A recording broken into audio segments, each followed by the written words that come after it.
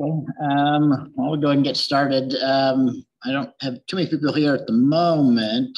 Um, for the ones online, let me know if if the sound sounds okay. Uh, maybe give me a thumbs up or something to check that uh, the, the microphone's doing well here today. Um, real quickly once more. Test, test, test. I think it's set. Okay, thank you. Um, okay, so today might be a relatively short session. Uh, it's mostly to answer questions about the assignment two, if anybody has them. Um, so I thought I'd go over uh, one or two things um, that I haven't talked a whole lot about or emphasized yet. Um, this point, um, hopefully everybody has their dev box up. Everybody I know of, except for maybe one, we've gotten their issues resolved, or at least we got them an alternative set up. So um, if you're watching this after the fact, um, you don't have your dev box up, you need to let me know because uh, yeah, the first assignment is due. Uh, the first programming assignment is due um, tomorrow. Um, so as a reminder, I do have a 5 p.m. deadline on those. So um, um, because I'm, I'm kind of like I did for the written assignment, I'm going to try and at least do a, a, sanity check at 5 p.m. to, to see that everybody submitted the right thing, um, the right submission file, uh, maybe even if I get a chance to try and check whether it's compiling uh, and running the test. So um, yeah, let me, let me bring up the um, assignment two. Let's talk some more about that. So, um, as usual, I mean, just for practice, I'll go ahead and uh, um, show starting this back up, your dev box from a terminal.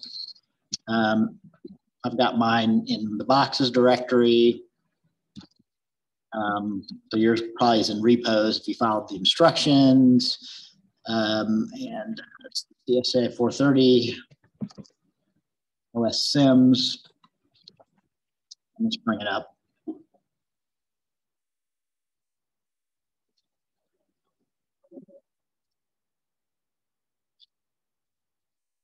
Uh, some things to check for on this that your port 8080 is being forwarded. Although if that's not being forwarded, um, you'll probably have problems uh, connecting up the Visual Studio Code server uh, when you try and bring it up in your browser.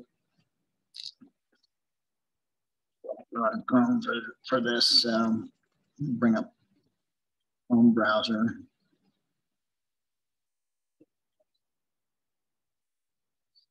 Um, so, oh, um, I did some updates. So you, oh, it's gonna shouldn't normally have to reinstall the guest additions, uh, but I just updated my VirtualBox here, so I think it's doing some stuff that you would normally see on a regular startup here. So. Um, while I'm waiting for that to boot up, let me also, let me also get the instructions again for assignment one. So, so again, you can read the PDF on these. Um, so since the folders are being shared, you should be able to also see on your host system all your assignments um, and the files that you build and things. So this will be important for uploading the um, um submission file here, uh, which I'm going to show. I, I, I think I, I, may have mentioned it in passing before, but I want to um, kind of demonstrate then uh, submitting the work here for the assignment. Make sure everybody knows how to do that. Um, anyway, we can open up the assignment description here.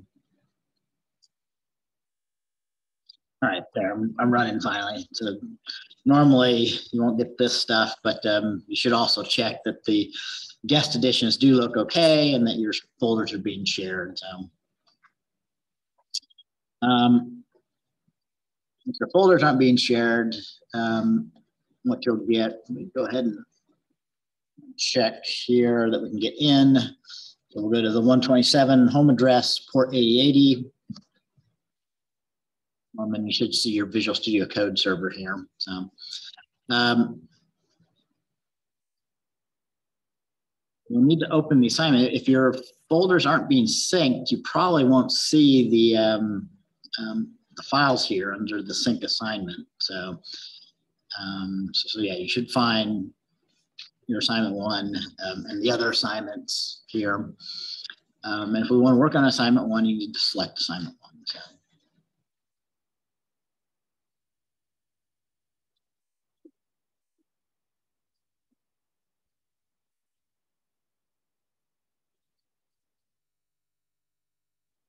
So last time um, I talked some more about assignment one, about the tasks.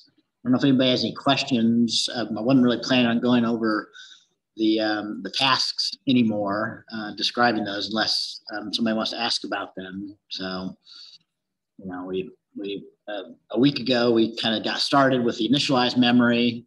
Um, all these videos are up for these help sessions. If you're, you know, it's, it's, it's probably a little bit late to be starting on the assignment now. I know a couple of people aren't starting until now because of the emails that I'm getting about stuff. Um, these assignments, most students, a typical student needs to spend a couple of evenings on these. So, um, so I encourage you to start at least, you know, the, the week on Monday when it's due, if not before. And, and I'll probably usually start talking about these like the week before. So, um, yeah, and then last time I, I, I kind of went through translate address, peek and poke. I went through quickly on the execute, uh, the, the fetch and the execute, and then the execute load store and things. I don't know if anybody has questions about those, but um, um, let me know if you do. Um, oh, um, I did have somebody, there are some people working on it. So I did have somebody have a question. Um, um, so I wanted to mention this. If, if you run the tests and, um, and if all your unit tests are passing, it'll also run what are known as the system tests here. Um, let me show you those. Um, I'm gonna open close this back up and open up my solution.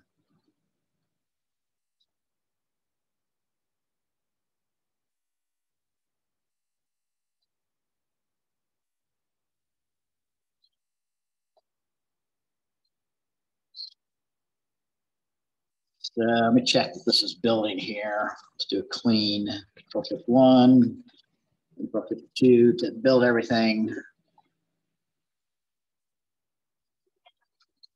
And then, so if you're near the end of the assignment, um, if you do control shift three, it'll only run the unit tests.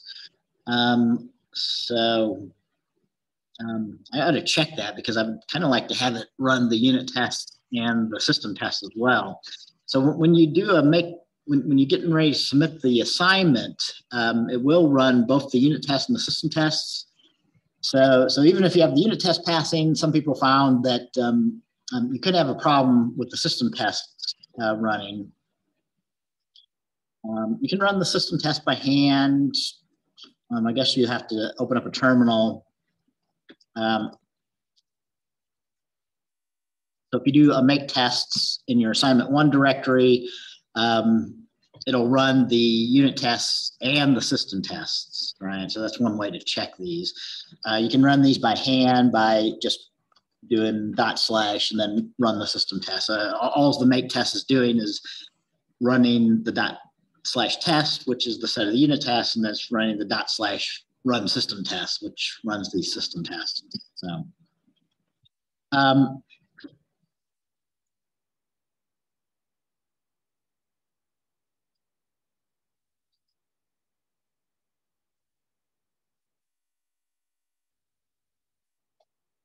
So you can easily have a few of these system tests not passing. Let me show you an example of what that looks like once you get to the end here. Um, so let's say,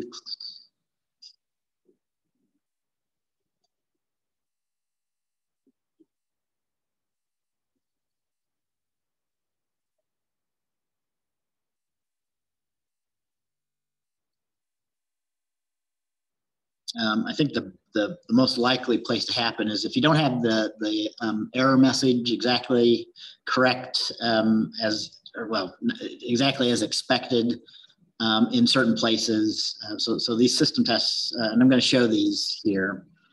Um, they're basically just running your code and doing a, an exact diff to, com to compare it to some expected output. And if there's any difference, um, it flags that as, as failing um, the system level test. So, um,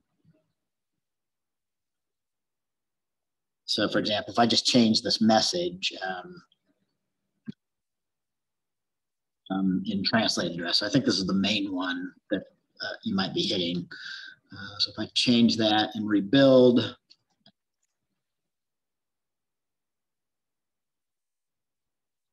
run the test, um, and yeah, I think specifically you'll see three and four um, will, will, fail um, if this this message isn't the uh, exact kind of um, of what it's expecting here. I don't know if I need to make that any bigger or not. A little bit bigger. So let me just show you what these are doing here real quickly. So, uh, I mean, also, I showed this last time. You, you, can run these simulations by hand once you've got them uh, built. So um, these are meant to be uh, run from the command line. So when you um, build your assignment, um, it, it, builds two executables. It builds the test executable for doing the testing, but it builds the simulation, which is the real purpose of all these. Um, and um, and I showed this last time. So you, so you can run. Um, so let's let's run the simulation for program three here. So um, uh, it takes two command line arguments, the number of cycles, which I think we usually the system test we just test for maximum of 100 fetch execute cycles. Um, and then we give the name of the input file. So in this case, all the input files are in the sim files directory. So we can specify some file in the sim files directory. Um, so in particular, I want to try running the program free.sim. So if you look in the sim files, there's two files. Um, there, there's the sim file, which is the input, and then there's the result, which is what's being, which is what the output is being compared to for these system tests. So we can run program um, 3.sim, simulate it um, and you'll see see the output. Uh, and notice at the very last thing here, um, because basically um, in this code, I was checking an error condition. Um, so there was a, um, there was a, a, uh, reference on instruction at, at address 103 in this program was trying to do a load from memory address 200 but but the valid memory addresses uh, were from 100 to like 199 so that was beyond the simulated memory that we had for this program. So instead of trying to do that fetch um, it should have been um, um, giving you an error message right? And should be hitting that from the translate address checking the bounds that are, are legal for all memory addresses here So um, if you look at the program three result and, and you compare your output, um, you'll see that that line differs if, if, if you're failing the, uh, the, the, system test here. So for example, um, you know, open up program 03 sim uh, result um, and, and, look down here, right? So it, it might not be, you know, it'll be a little bit um, tough to scroll through here and check every line by line, especially for future assignments. So if you want to, um, you can perform the diff. So this is actually what the um, uh, the system tests are doing. So it's just doing a diff between your output. So we could do something like, let's say, capture the output of running the program. So this is this is a little bit of command line stuff. So we're going to use a right arrow to send the output um, uh, instead of sending this to the terminal, I'll capture it. We'll call it um, program 03 dot um, um, my results or something like that. So, oh, um, and in this case, uh, we do have to add a little something because the uh, error message is sent to standard error instead of standard output. So this is another little command line, command line thing. So by saying two out, ampersand one, we um, also redirect the standard error to go to the standard output stream as well.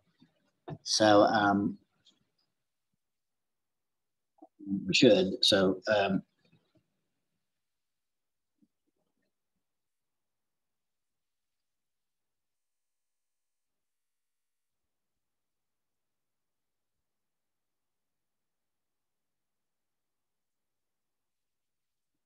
I thought that needed to be there. Does that have to be at the end? There we go. So I guess I guess the order of where that goes matters. So it has to be the last thing on there. Um, maybe I'll post a message about this. So because this is useful, um, maybe not so much for this assignment. So I probably won't take off any points if, if you've got the uh, this particular problem where the system tests aren't passing. But it'd be good to understand this because later on um, you'll need to, to, do stuff to get the system test to pass once you have the unit test passing, right? So um, if you capture that output, you can just do a diff between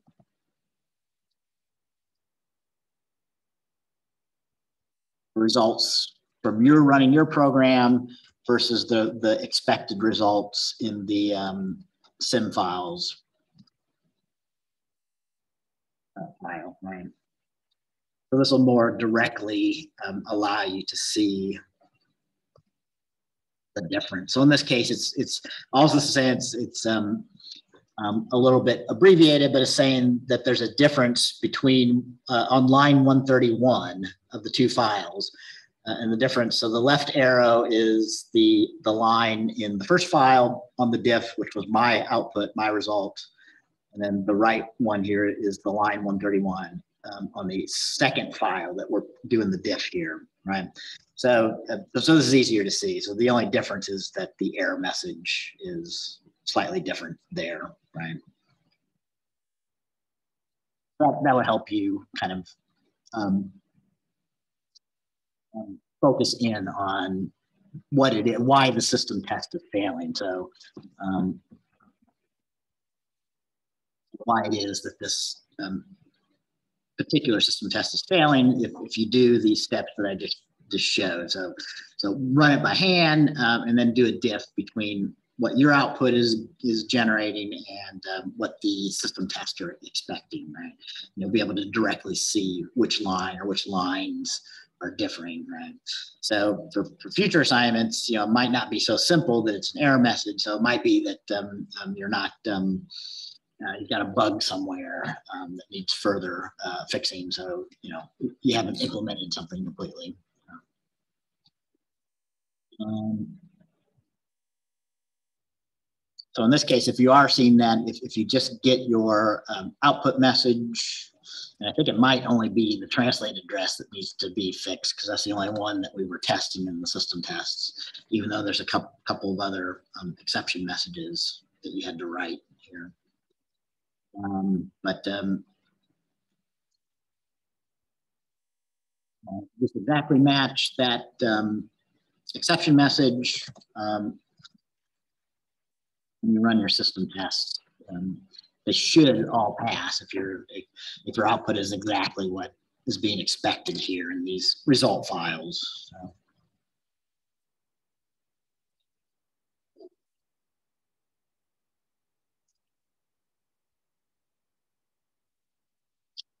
Um, and then that brings me, I mean, the final thing is, um, I might have mentioned it briefly in passing, but I did want to show at least once an example of um, what you need to do to submit the assignment when you're done, you know, so hopefully everybody can get to this point. So even if you don't have um, everything passing the unit test and the system test, you should submit your best effort by the deadline. Okay, you, can continue working on it after the deadline, and I might still look at things that are past the deadline. But you know, give me what you have by the the deadlines for these programming assignments. Same for the written assignments as well. Um, but um, although I can't give a lot, if any, points for a submission that's not at least compiling and running the test. So, you know, one, of the things that I'm trying to teach that, that I want people to learn is to do incremental development. So you always need to keep your program in a compilable state so it can compile and at least run the test. So, so it might not be passing the, um, the system tests, but um, um, but but it should be able to run them, right? So, you know, uh, if if your program isn't even compiling,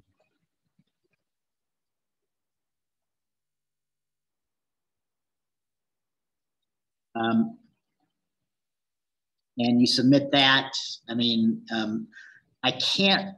I mean, the, the basic reason is is that um, in order for me to actually run the test and get a good idea of how well you know you did on the task and how well you implemented things i would actually have to first fix the bug the, the compilation issue right um, and uh, by me by me doing that I, I, might be fixing other you know issues that you have. So you know you really have to be um, uh, have your code compiling before you do the make submission.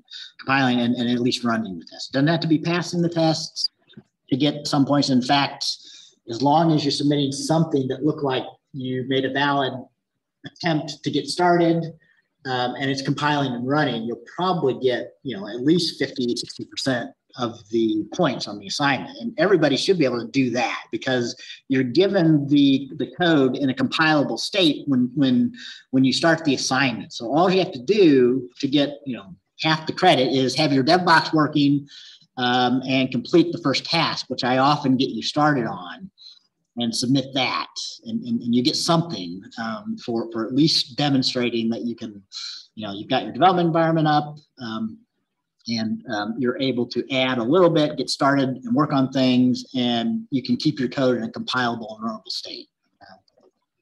Um, let's fix that. It's always a good idea before you're getting ready to submit your work to do a make clean. Um, so that will guarantee that I'm rebuilding everything from scratch. So sometimes it is possible for things to be a little bit hidden if there's some issues. Uh, if you're just uh, incrementally rebuilding. Um, so if you do a clean before your final uh, getting ready to submit something and then do a make. And if it's building then and running the tests, um, then you're ready to um, submit something. So um, that's a good point that you can do the submission. Okay, so to do this, um, to submit your work for the assignments, um, you do have to do this from a terminal. So um, you will have to go, you know, open up a terminal. If you've got the folder open for assignment one, it should open up the terminal in your assignment one directory which is where you want to be to um, um, make these submissions. Right? And then there's another target uh, that you need to run to make the submission file uh, for the assignments, make submit. Right? So if you do a, do a make help, you can see all the targets that are available for the build system. Um, so make submit, what it does um, and, and you have to submit this file because we've got some auto grading uh, stuff set up. So you have to submit this this uh, assignment one tar.gzip file that's created here. Um, the, the, the make submit uh, runs it through the code style checker and formatter to make certain that your code conforms to the class style guidelines. Um, and then it, um, um it runs this tar command, but you shouldn't do this by hand because uh, the auto grader exactly expects this set of files in your submission file. Um, so um, um, the result is this file called um, um, assignment1.tar.gz, right? So, so you should see that after you do the make submit.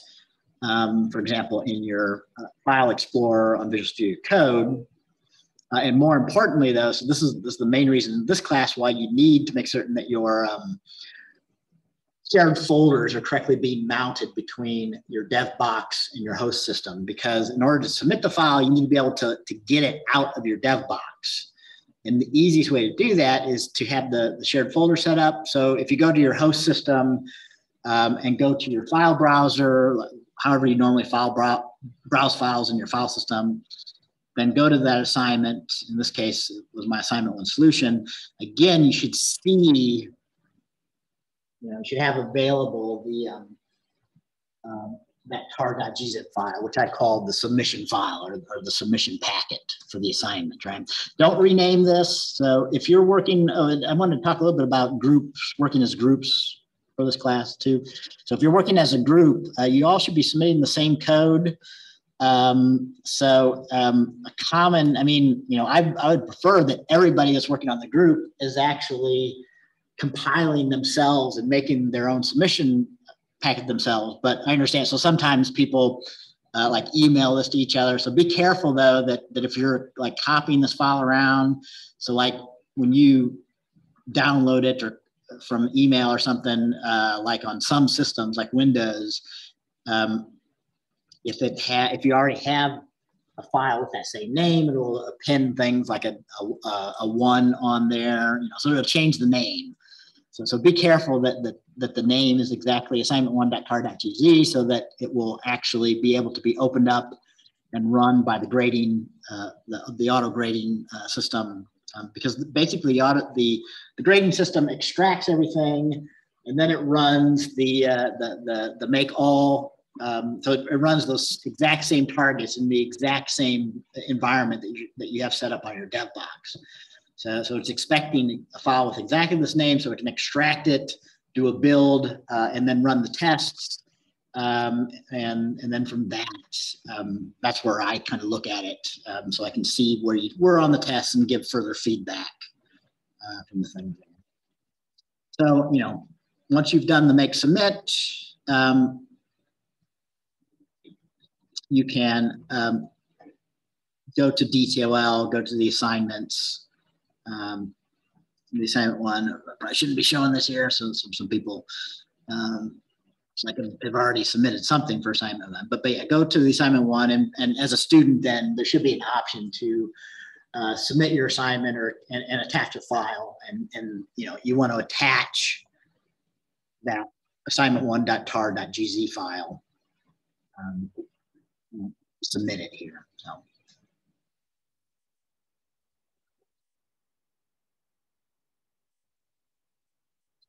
Um,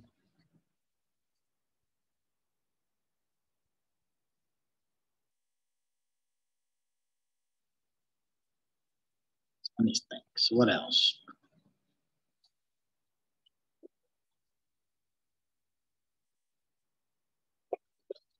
So um, that was all that I was planning on covering here. So I'm probably gonna, you know, um, leave it open for questions. Hopefully I started recording on this here. Yeah.